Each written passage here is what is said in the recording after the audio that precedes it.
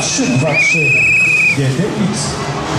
To może nie jest to Państwu doskonale znane auto, ale to auto naprawdę miało stanowić swoistą broń, nie będącą równym rywalem dla I już wyjeżdżają na prosto. Za chwileczkę ponownie pojawią się przy beczce, ale zanim to nastąpi, jeszcze Sylwia Zaborowska, pilotka Michała Łusiaka z Michałem Łusiakiem powinni pojawić się po raz kolejny przy beczce. Bardzo ostry zakręt w lewo, ale już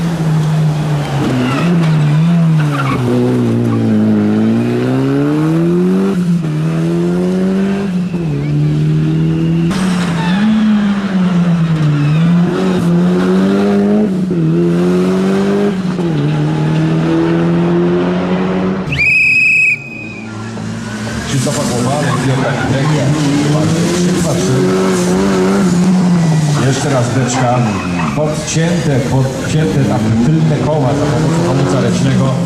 Przepięknie, oczywiście live. Zapraszamy też do, do śledzenia wyników online.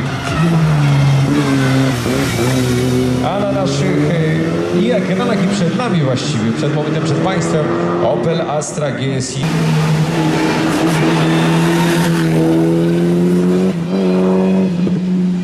Cały wyścigowe odmiany Porsche. I pomimo tego, że teoretycznie mamy bardzo zbliżoną konstrukcję silników w- Subaru, czy właśnie w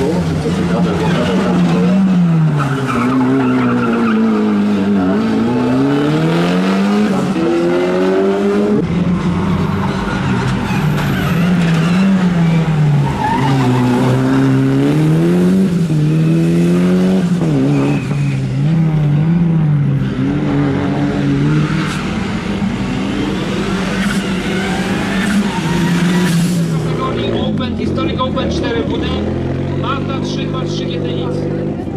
Krzysztof Głowa, Głowala i Piotr Mitręga. Fantastycznie, że jesteście na mecie.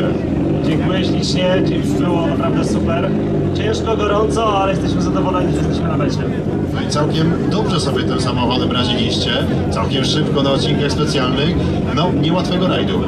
E, tak, no samochód jest e, 31 lat ma, więc e, w miarę żwawo dawał sobie radę. Miała trochę czkawek, ale jakoś sobie poradziliśmy. Na Power Stage udało się mieć pierwsze miejsce, więc dobrze, całkiem jest nieźle.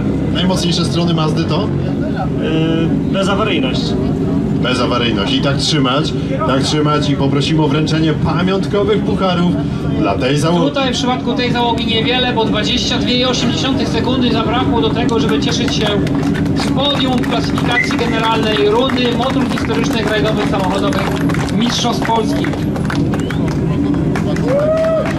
I ten rajd, y, proszę Państwa, właśnie dla motor historycznych, rajdowych, samochodowych mistrzostw Polski powolutku przechodzi, przechodzi do historii Krzysztof Głowala i Piotr Mitręga w Mazdzie 323 y, GTX. Będziemy wręczać puchary za zwycięstwo w klasyfikacji